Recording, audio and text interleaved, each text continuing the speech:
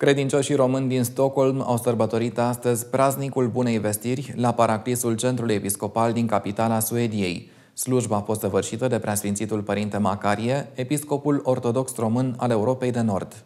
La praznicul Bunei Vestiri, preasfințitul părinte episcop Macarie a săvârșit liturghia Sfântului Ioan Gură de Aur unită cu vecernia în paraclisul centrului episcopal din Stockholm, Suedia. În cuvântul de învățătură rostit, ierarhul a vorbit despre importanța acestei zile pentru creștinătate ca început al mântuirii noastre. Maica Domnului este inima omenității, iar atunci când pierdem dreapta înțelegere asupra Maicii Domnului, ne pierdem inima și ne cufundăm în întuneric, în barbarie, în murdărie. Așadar să nu ne pierdem inima, prea iubiții mei, să nu ezitați să alergați la Maica Domnului, fiindcă ea este arhistrategă a oștilor cerești și spaima iadului, gramnic ajutătoare și mânghietoare a celor aflați în nevoi. Să o rugăm să ne acopere sub acoperământul ei mângâietor în toată vremea. Credincioșii care au participat la Sfânta Liturghie s-au închinat și la raclele cu sfintele moaște ce se păstrează în Sfântul Lăcaș,